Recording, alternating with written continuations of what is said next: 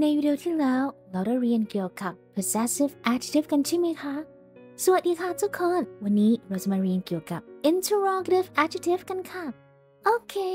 let's begin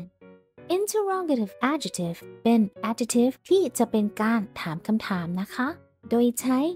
what which กับ whose interrogative adjective แรกคือ what บวกกับ noun ก็คืออะไรค่ะ What kind of music do you like คุณชอบฟังเพลงแนวอะไรคะ What song do your favorite idol group sing idol group ที่คุณชอบ มักจะร้องเพลงอะไรคะ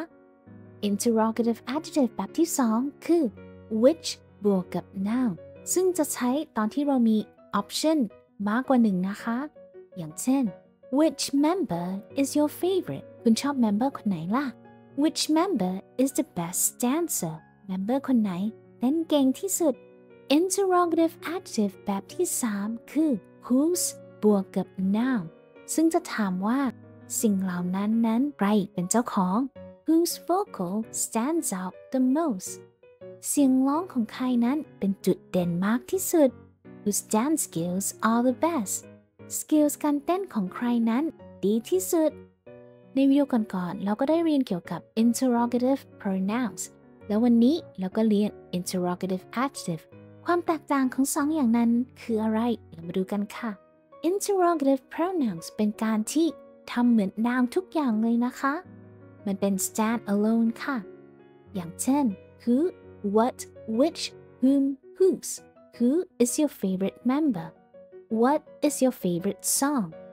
interrogative adjective เป็นการที่เรา modify noun หรือ pronoun พื่อที่จะถามคำถามค่ะ โดยใช้ which whose what บวกกับ noun ค่ะ อย่างเช่น which member is your favorite what song has the best lyrics เราดูกันนะคะว่า what is your favorite song กับ what song has the best lyrics what บวก noun เลยค่ะ ก็คือ what song Okay that's all for today ขอบคุณมาก ๆ นะคะที่มาชมคลิปนี้ หวังว่าทุกคนจะเข้าใจการใช้ interrogative adjective ให้มากขึ้นนะคะ ถ้ามีคำถามอะไรสามารถถามที่คอมเมนต์ได้เลยค่ะ